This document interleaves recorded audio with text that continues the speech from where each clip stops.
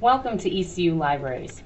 My name is Katie Kavanaugh Webb, and I'm going to show you today how to find articles in the foreign languages fields. To get started, we're going to go to the library's webpage. And from here, we're going to go to the database list. Now this web page and the one prior may change in appearance, but the basic parts will be the same. You'll see a search box to search for known databases if you know the title you're looking for. And also, if you know the title, you can search by the alphabetical letter that you're that you know that it starts with. And if you don't know what database you're looking for, you can also browse by subject. Now we have the option here in the center of the screen to search for databases in the foreign languages and literatures field.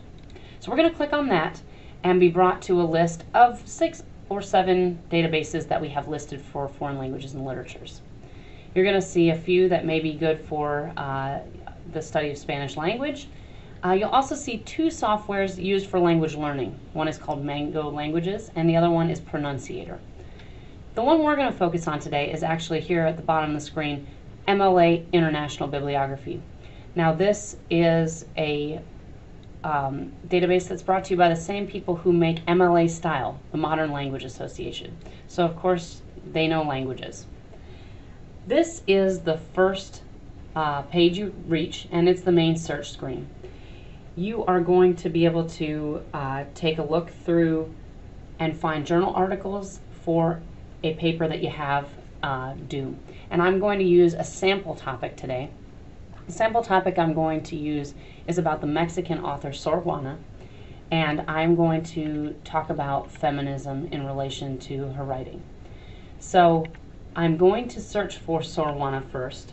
And when I start typing in, I'm going to type in Sor Juana, but the database is going to suggest her full name, Sor Juana Inez de la Cruz. So when I click on that and choose it, it will find all 1,000 some articles that have to do with her in this database. So I now have her um, her items here up on the screen, but again, I wanted to search about feminism.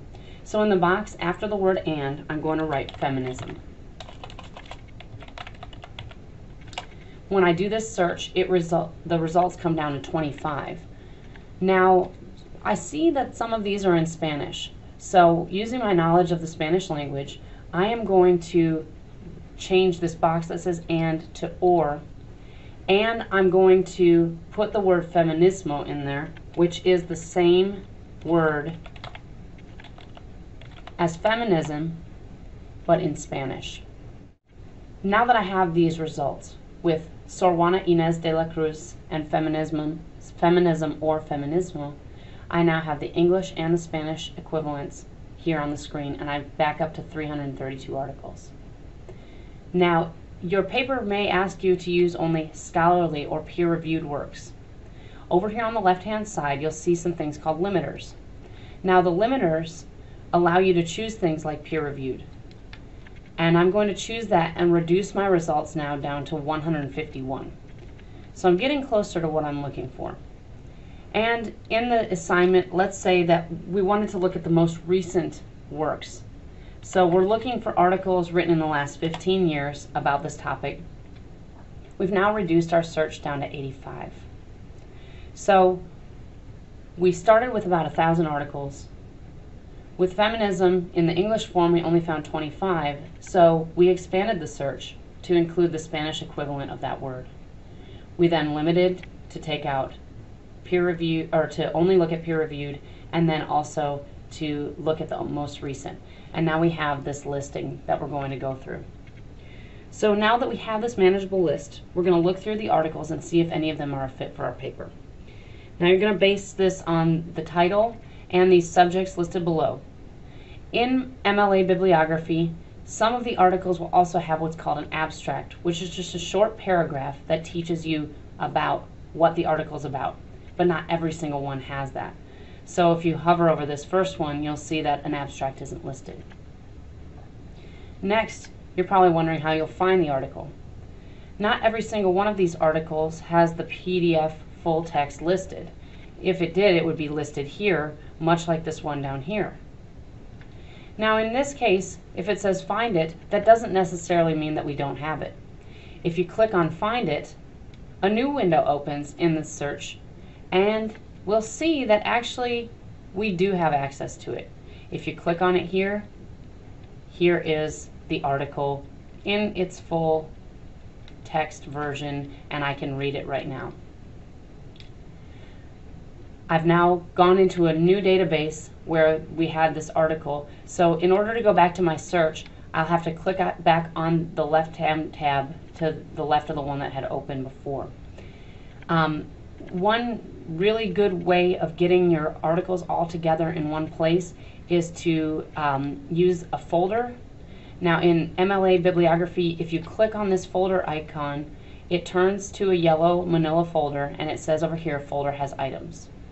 So if I click on the next four, which all look like good articles for my paper, I can have them all together kind of like in a shopping cart on, a, on another website. If I go into the folder view, I see the four that I had that I liked and the other 85 are left out. I can do some things here, including email these to myself. Some benefits of emailing them to yourself is that you don't have to come back into the database later and you can choose your citation format. So when you get the email, you will have the article or a link back to it. You will have your citation at least started, although I do recommend checking those over before you, you turn it in. And I will also have um, to not go back into the database. So once I click on this and then click send, it says that my email has been sent to me. I'm going to get that um, in just a few moments.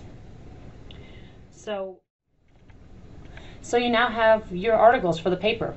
If you have trouble locating articles for your search, Joyner Library offers research assistance at our desk on the first floor, but we also offer a service called Book a Librarian. It's a 30 minute meeting where you can meet with me and we can talk about how to find resources for your paper. Um, and if you have questions, please ask a librarian. Thank you.